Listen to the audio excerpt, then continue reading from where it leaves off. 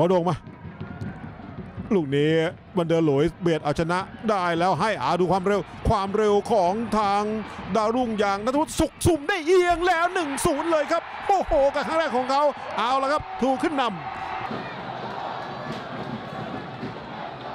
พลิกหนีมา 2 โดนดึงครับวันเดอร์โดนดึง โดนดึงยังไปต่อวันเดอร์ไม่ล้มนะครับวันเดอร์ลากพาขึ้นมาวันเดอร์ตันอยู่แล้วไหลออกขวาแล้วดูแต่งบอลแรกแล้วเพื่อจะจิ้งขวา1 0เลยครับ โอ้โห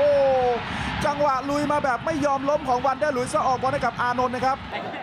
เปิดลูกนี้บอลโค้งมาโดนโขกทิ้งเข้ามาได้ครับยิงสวนตูมเดี๋ยวบอลไม่ใช่เอาเข้าไปเลยครับโอ้โหน่าจะเป็นทศวรรษลิ้มวรรณเสถียรนะครับ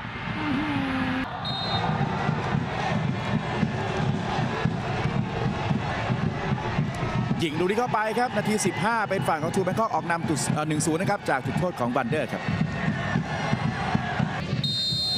ดูเหลี่ยมเท้าซ้ายของสารวัชรนะครับ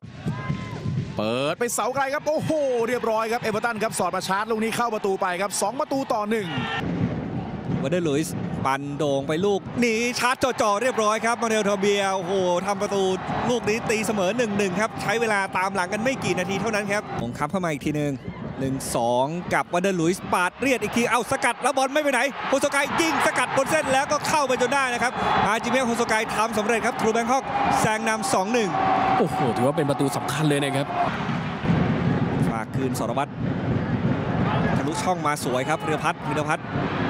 ลูกนี้หักข้อคืนมาเอ้ายังอยู่ครับ แล้วได้แปเน้นๆเลย 3-1 ฝังเฉยๆเลยนะครับ จากเบรนเนอร์ยิงง่าย ๆ เข้าไปเลยอื้อหือจังหวะนี้ยิงเรียดนี่แหม่หมดสิทธิ์เลยครับพันอยู่วันเดอร์เลือกตัววันเดอร์สับแล้วงัดขึ้นมาชาร์จจ่อๆเซฟบนเส้นซับไม่เหลือครับสารวัชรเดชมิตร โอ้โหสี่ประตูต่อหนึ่งเลยครับนาที 90บวก2ครับอื้อหือจังหวะโต้กลับวันนี้คมมากนะครับ โดยเฉพาะในช่วงท้ายเกมของทรูแบงคอกครับ